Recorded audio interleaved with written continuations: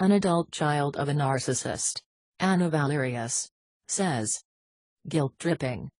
Let's take a look at the manipulative narcissist's favorite tool, the guilt trip. We've looked before at some of the sneaky and covert manipulation tactics of aggressive personalities. Malignant narcissists are usually of the covert aggressive sort. Sneaky fighters. Lying and underhanded sobs.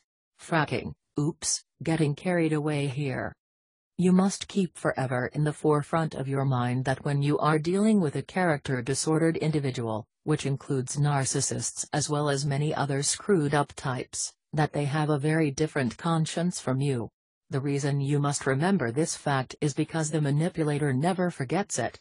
They are deliberately using your conscience against you when they use the guilt trip. They are keenly aware that you possess a sound conscience. If you try to do the same to them, if you try to convince them of their guilt in something, you find that the guilt trip does not work on them. This is because their conscience is a very different thing than your conscience. The character disordered conscience is blighted, twisted, perverted, malfunctioning on every level. They cannot be manipulated by you with the guilt trip. An effective guilt trip is only achieved on a sensitive conscience. The covertly aggressive character disordered person is unencumbered by such a thing. The manipulator knows that a fully functioning conscience has the ability to register guilt and shame. The more conscientious you are, the more effective the guilt trip can be on you. I have said this before, I'll say it again. The malignant narcissist uses your own conscience against you. It is a handle on your heart that they can grab at will if you don't know enough to stop them. You should not try to erase your own sound conscience in order to remove the handle. That would be destructive to your decency as a human being as well as well nigh impossible to do. There has to be another way. And there is. You need to be informed, which is what I'm doing right now. Armed with the knowledge that the sneaky fighter is capable of using your own conscience against you, you are able to better recognize when it is happening and run a manual overdrive on yourself when you recognize someone is using you against yourself. The manipulator tells you that you are selfish, that you are not caring enough, that you are hurting their feelings, and you find yourself high centered on a big old boulder. Key Runch. Suddenly you feel horrible about yourself and are scrambling to apologize, make amends, soothe the manipulator's hurt feelings. You feel like a cad, and they walk away with whatever prize they were aiming for. Pay attention to the interaction.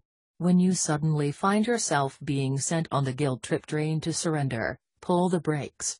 Don't let some lying and underhanded manipulator fight by using you against you. There is something quite unseemly about a conscienceless creep using your fully operational conscience to further their selfish ends. Don't be a patsy. Don't roll at the first intimation that you are too mean, too selfish, too uncaring. Know the truth about yourself even when someone is lying to you about you. Hurting someone's feelings in the process of defending truth and principle is not a crime. Some people deserve to have their feelings hurt. Don't fall victim to the cult of nice. Narcissists have taken full advantage of the now endemic belief that hurting someone's feelings is a sin. If the truth hurts someone's feelings, so be it. Too often people are unwilling to stick to and defend truth because someone may be offended by it. This is only advantageous to the covert and overt criminal.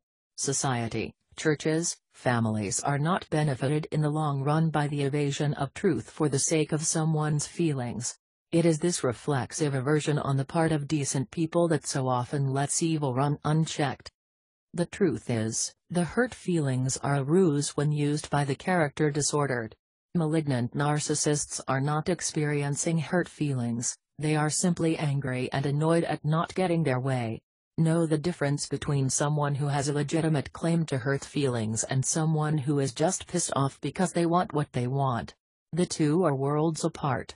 Getting hurt feelings for not getting your way is equivalent to a two-year-old child throwing a tantrum simply because he wants what he wants. Let's not make it more than that.